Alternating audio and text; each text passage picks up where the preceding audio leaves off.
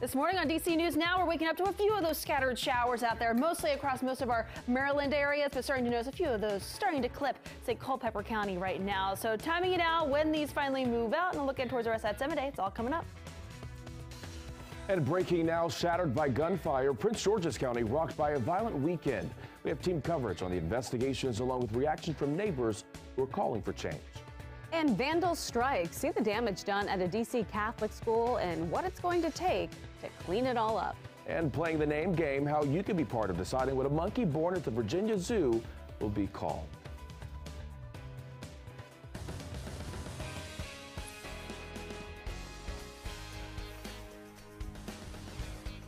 Good morning. A rainy start to our Monday morning commute for a lot of people across the DMV. This is the first time we're seeing that wet weather during the drive to work and for some people, the drive to school. It is now 6 o'clock on this Monday. Thanks for joining us. I'm Tanaya Wright. And I'm Corey James. Our team is here to help you plan your day this morning. Shanika Grimshaw uh, standing by with a look at some of the troubled spots on the roads. But we begin first with meteorologist Jackie Layer. How's the weather look this morning, Jackie? Oh, out there this morning, Corey, we're tracking a few of those rain showers. Those are mainly light right now. The heaviest of the rain is well off towards our north and east now. Did pass over Baltimore not too long ago, but now passing through portions of, say, southeasternmost parts of Pennsylvania, now moving into southern New Jersey. But back here locally, we're seeing some rain showers mainly around Frederick, Hagerstown as well. Even a few of those spotty showers from Germantown areas just to the south of there, down towards Silver Spring, Maryland right now. So zooming on in to show you just that passing shower just right along the beltway there, and that will eventually slide its way off towards the east towards Bowie in about, say, I would say 20 to 30 minutes. As we head farther off towards the north, this is where a lot of the activity is right now. It's mainly up towards, say, Westminster and continuing to push its way off towards the east. Just a few lingering showers just to the east of Hagerstown right now, and even right around Germantown as well. A wider look at the, the radar shows us we do have a batch of rain showers down towards our south. That will continue to push its way just to the south of our area. So really, it's a few lingering sprinkles in between the showers off towards our north and also the showers down towards our south and west. Visibility, though, has been reduced, especially back out towards Woodstock and Luray, where we're seeing down to at least a mile of visibility because of some patchy dense fog. So something else you have to keep in mind this morning, too, if you're in that area. Temperatures, though, as we're waking up into the 60s, low 60s back out towards Keyser and Cumberland. We're right around 70, though, in D.C. for the bus stop. So for the kids, make sure that they do have the umbrella just in case. We do have those scattered showers through about 7 a.m. By about, say, 8 a.m., could see some breaks in the cloud cover, but overall still we'll likely see mainly cloudy skies for your Monday. And through the rest of the morning, a chance for a few of those showers here and there by about 9 a.m. Then these continue to subside. So we should see some dry times overall as we look ahead towards the latter half of your Monday. Just a few showers in the forecast tomorrow. More details coming up. But right now, toss it over to Shanika with the very latest on traffic.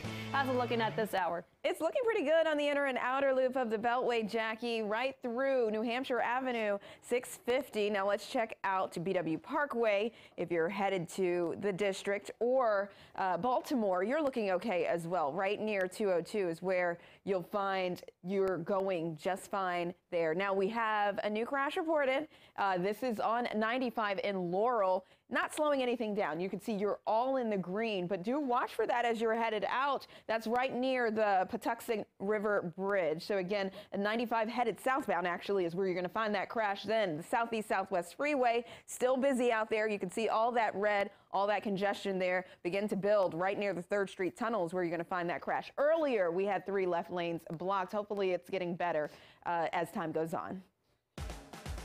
All right, Shanika, thank you. Breaking now, plagued by violence, eight. That is a number of shootings the gun violence archive recorded in D.C. and the DMV in the past 72 hours.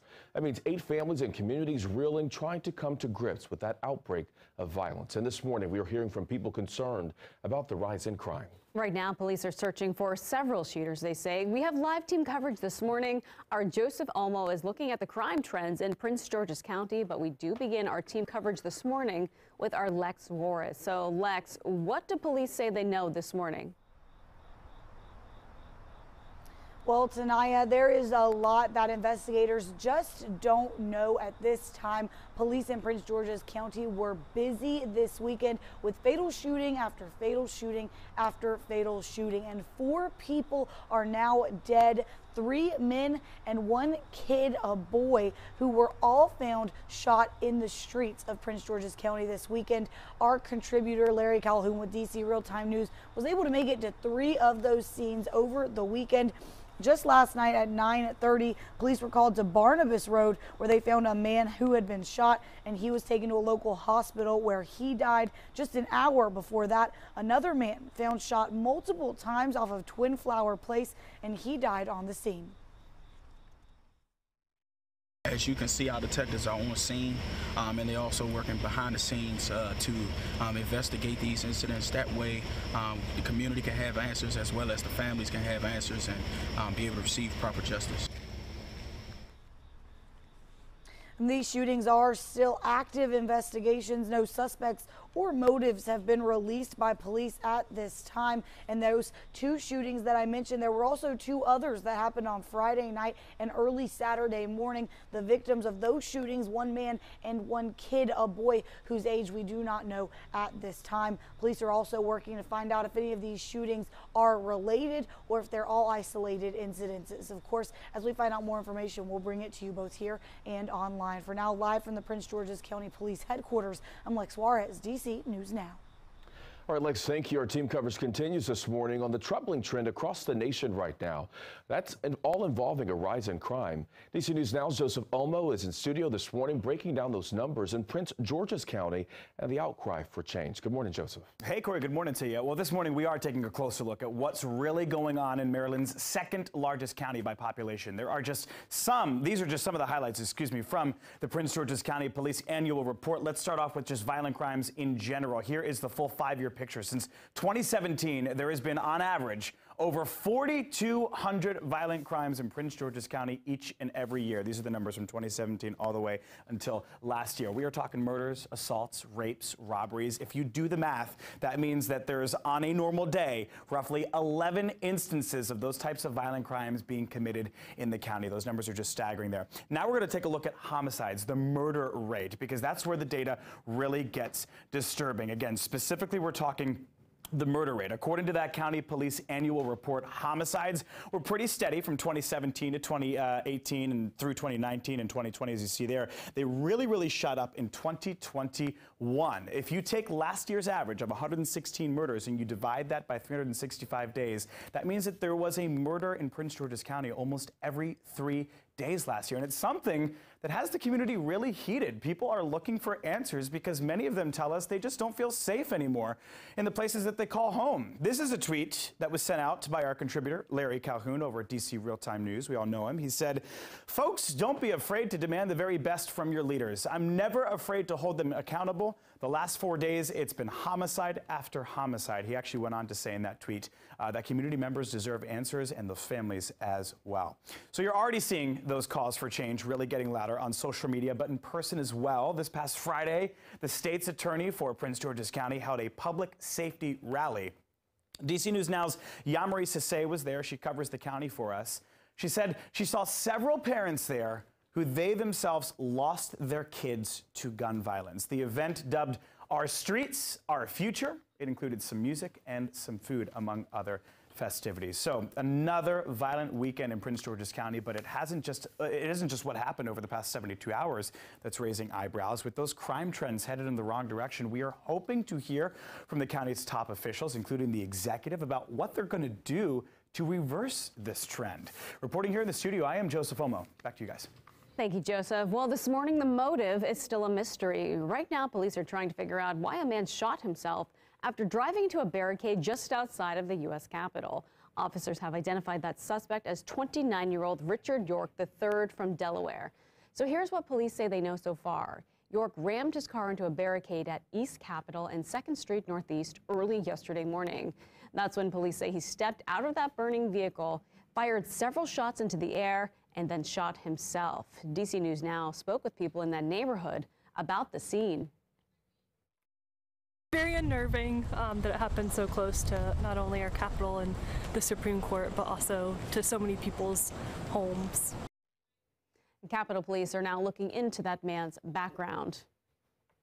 Breaking now, Brittney Griner's legal team is appealing her prison sentence in Russia. She was sentenced to nine years in prison for drug possession last week. Lawyers for the basketball star told Russian news outlets that the appeal had been filed. Now, at this point, the grounds for that appeal are not yet clear. All right, your time right now is 6.09 on this Monday morning. New this morning, vandal strike leaving behind a trail of damage at a D.C. Catholic school. And a post on its website, St. Anthony Catholic School says a statue was knocked down and broken. A concrete windowsill was also broken. Now, according to the school, three playground benches were pulled out of the ground and damaged as well. Your time right now is 6:10 this morning. Breaking now, families running for cover when shots ring out at Six Flags Great America just outside of Chicago. Overnight, police said three people were shot in the parking lot of that theme park. They say they believe those shots were fired from a vehicle. A mother is describing that scary scene.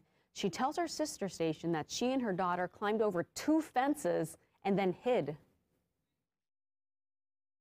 there's an active shooter. Get down, get down. Everybody gets down, and we're all laying on the cement, and we're we don't know what's going on.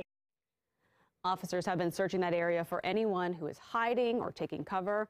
Police say they are still searching for that shooter.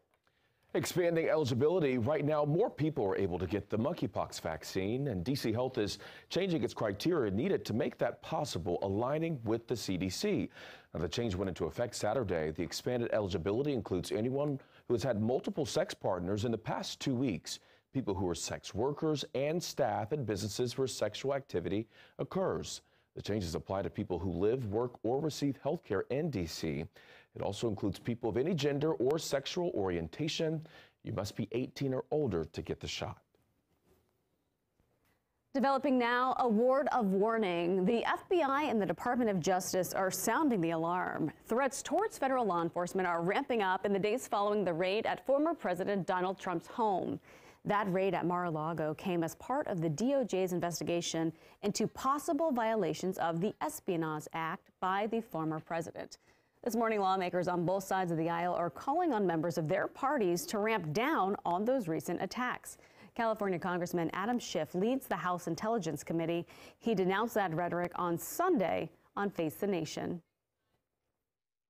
The, the reaction of many of my Republican colleagues uh, and, and those around the former president to attack the FBI over this uh, and endanger FBI agents uh, mm -hmm. is just another uh, uh, damaging level of irresponsibility.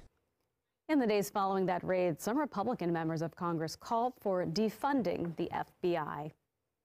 Happening now, another controversial trip. Several American lawmakers are overseas visiting with officials in Taiwan.